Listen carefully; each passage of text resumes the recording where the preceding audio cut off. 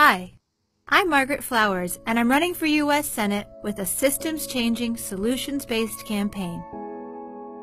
As the youngest of five kids in a single-parent home, it was always my dream to build a career that would make life easier for others than it was for my family. I worked hard, put myself through school, and became a pediatrician. After 17 years in medical practice, I left because of the extreme injustices I saw in our healthcare system. When the father of a friend of mine found out he had a brain condition, he felt he faced a stark choice. Seek treatment and put his family into debt, or quietly exit the world. So one day while his daughters were out, he put sticky notes on all of the things he had borrowed so they could be returned. He settled his credit cards, and then he called 911 so his body could be removed before his daughters came home. Then he ended his life. The things I see in our unjust healthcare system, I see everywhere.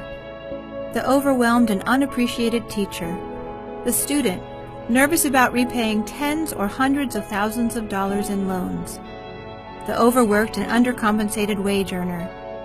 It's a system that values profits more than people. I worked with members of Congress to put a national Medicare for All healthcare system on the table. But even with Democrats in the House, the Senate, and the White House, it was off the table.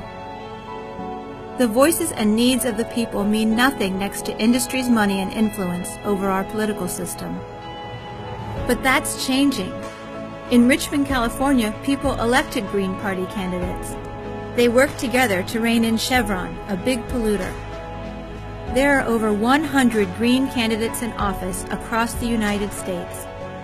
I'm running as a Green because we don't take corporate money, because we work to end wasteful military spending and make sure our schools get the funding they need, and to transition to a green energy economy in a way that's fair to workers.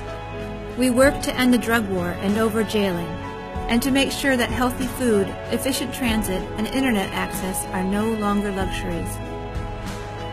My opponents depend on a system that works against these solutions. Don't empower that system. Change it.